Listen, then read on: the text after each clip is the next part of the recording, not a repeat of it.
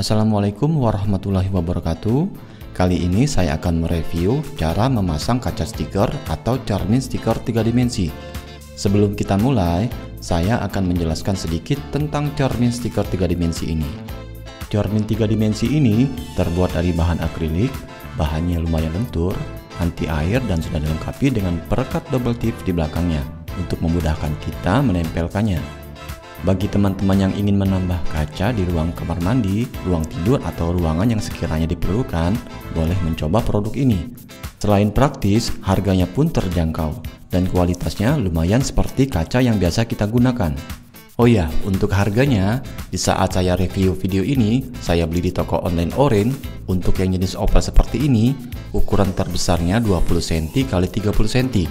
Per satu PCS-nya harganya 5900 dan yang untuk persegi ukuran terbesarnya 20 x 30 cm. Harganya sama dengan yang opal, 5900. Baiklah, langsung saja saya akan review cara memasang kaca stiker atau cermin stiker 3 dimensi ini. Sebelum memasang atau menempel kaca stiker 3 dimensi ini di tempat area yang kita inginkan, sebaiknya kita paskan terlebih dahulu posisinya. Atur tinggi rendahnya sesuai dengan posisi yang kita inginkan biar nanti tidak mengulang menempel kembali membuka rekatan yang sudah terpasang. Pertama, kita buka terlebih dahulu lapisan plastik yang menempel di depan.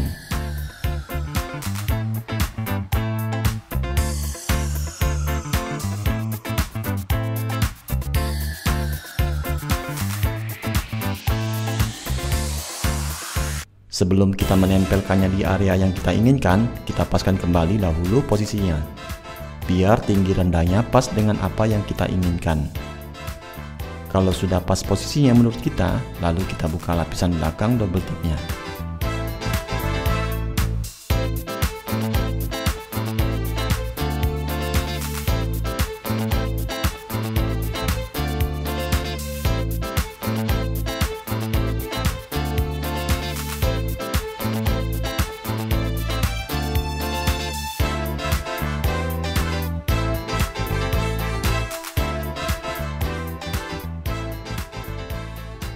Kemudian kita tempelkan ke area yang sudah kita ukur sebelumnya.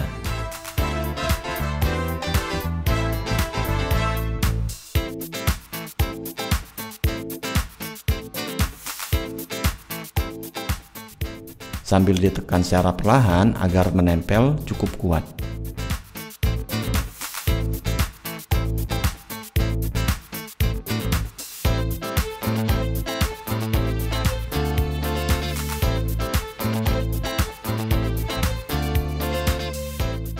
Demikian review singkat dari saya, cara memasang cermin stiker 3 dimensi. Semoga bermanfaat, kurang lebihnya mohon dimaafkan. Wassalamualaikum warahmatullahi wabarakatuh.